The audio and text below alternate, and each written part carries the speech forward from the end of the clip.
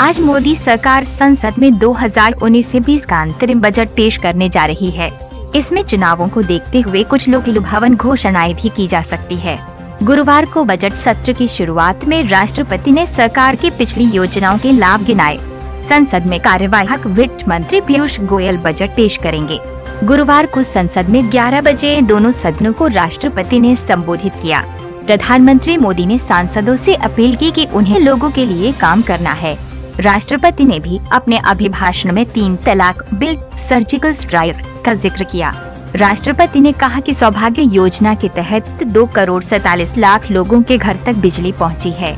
महत्वपूर्ण तारीख और समय तेरह फरवरी तक बजट सत्र चलेगा, चार फरवरी से आठ फरवरी तक प्रश्नकाल चलेगा और आठ फरवरी को प्राइवेट मेंबर बिल पेश होगा। बजट के दिन यानी शुक्रवार को वित्त मंत्री का संसद में बजट भाषण सुबह ग्यारह बजे से शुरू होगा। बजट का प्रसारण लोकसभा और राज्यसभा टीवी पर भी किया जाएगा। इसके अलावा सभी यूज़ चैनल बजट का प्रसारण करने वाले हैं। अगर आप ये वीडियो पसंद आया तो शेयर ज़रूर करें और लाइक करना ना भूलें।